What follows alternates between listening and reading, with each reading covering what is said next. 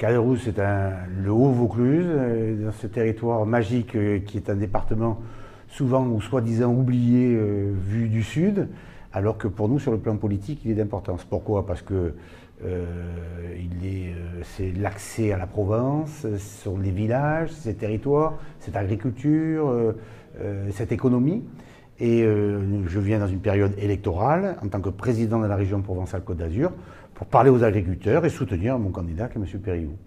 Moi, je trouve qu'ils ils sont très dignes. C'est des, professionnels qui sont euh, attachés à leur terre, attachés à leur activité, qui se plaignent euh, essentiellement euh, de la complexité de la réglementation, qui n'arrivent plus à, travailler suffisamment leur terre eh pour, aux dépens de tâches administratives.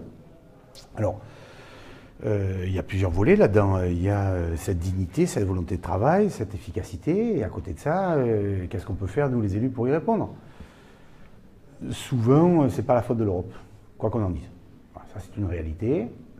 Et donc, c'est plutôt la, surréglementation française sur la base des directives européennes qui leur complique la tâche que ce soit sur le phytosanitaire, que ce soit sur les transports de marchandises, que ce soit sur l'irrigation, que ce soit sur euh, euh, la mise en place euh, de tous les contrôles dont ils, subissent, avec l'inspection du travail ou autre. Bon. Ça, c'est un vrai problème de l'État français. Et donc, c'est un peu le sens aussi de ma démarche de, de ma venue ici aujourd'hui. C'est est-ce que les nouveaux parlementaires seront enrayés cette démarche?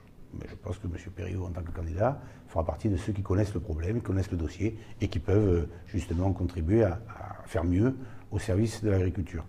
Parallèlement à ça, il y a la démarche de la région. La région a une activité importante, c'est elle qui aujourd'hui récupère les fonds européens, qui avaient été euh, maltraités euh, par l'État en son temps. Nous allons simplifier la tâche. Parallèlement à ça, c'est nous qui organisons la filière de formation et ils ont dit que de ce côté-là, la région faisait son travail. Parallèlement à ça, euh, vous avez toutes les aides dans le cas de gel qui peuvent être débloquées. On, a mis une coordination de pilotage euh, pour aller plus vite, pour euh, réagir en fonction de la grêle, du gel ou autre catastrophe économique, parce que climatologique. parallèlement à ça, il y a tout le volet modernisation des entreprises. Il y a 15 millions d'investissements qui sont prévus par la région dans, le, dans le budget agriculture. Il y a 4 millions qui sont 6 millions pour la modernisation des entreprises, 20 millions qui seront débloqués pour euh, euh, la mise en place de tout le réseau euh, hydraulique. Donc notre logique, nous, c'est toujours la même chose. Résultat sous 3 ans avec une projection sur 20 ans. Eux, ils souffrent. Ils souffrent des contraintes administratives quotidiennes. Il faut que l'État l'intègre. Nous, au niveau de la région, on l'a compris.